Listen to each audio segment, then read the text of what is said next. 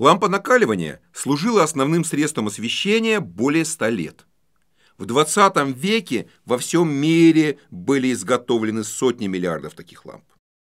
Обычная бытовая лампочка состоит из цоколя и стеклянной колбы, заполненной инертным газом.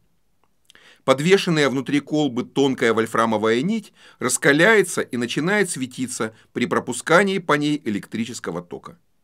Температура плавления вольфрама составляет 3400 градусов Цельсия, что позволяет разогревать нить до 2500 градусов. Современную конструкцию лампы накаливания с вольфрамовой нитью придумал и запатентовал в 1893 году русский изобретатель-электротехник Александр Николаевич Ладыгин. Как это ни удивительно, длина нити в этой лампе составляет примерно полтора метра. Ее сначала свили один раз и получили мелкую спираль длиной 20 сантиметров. Затем получившуюся спираль свили второй раз и получили более крупную спираль длиной 3 сантиметра. Возьмем лампу с номинальной мощностью 100 Вт и измерим ее сопротивление с помощью мультиметра. Получаем примерно 40 Ом. Рассчитаем мощность лампы по закону Джоуля Ленца – Напряжение сети равно 220 вольтам. Поэтому расчетная мощность получается больше киловатта, в 12 раз больше номинальной. Чтобы понять, в чем тут дело, возьмем маленькую лампочку с рабочим напряжением 3,5 вольта и подадим на нее напряжение, медленно растущее от 0 до 4 вольт. Вот получившийся график зависимости силы тока от напряжения. Такой график называется вольтамперной характеристикой лампы.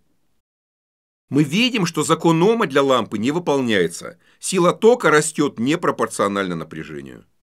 Это происходит потому, что сопротивление вольфрамовой нити увеличивается при ее нагреве.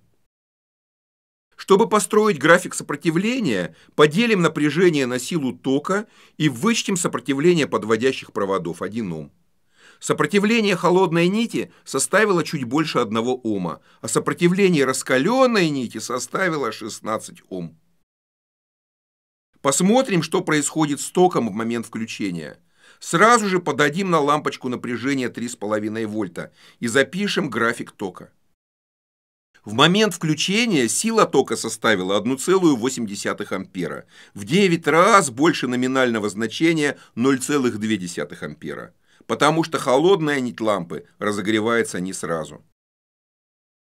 Такой же скачок происходит и при включении 100-ваттной лампы, поэтому лампы накаливания обычно перегорают именно в момент включения. Чтобы раскаленный предмет светился таким же светом, как солнце, у него и температура должна быть соответствующей – 5500 градусов Цельсия. Из-за того, что температура вольфрамовой нити заметно ниже, лампа накаливания излучает в основном невидимые инфракрасные лучи. И только 4% излучаемой энергии приходится на видимый свет. Поэтому лампы накаливания сейчас повсеместно заменяются на гораздо более эффективные газоразрядные и светодиодные источники света.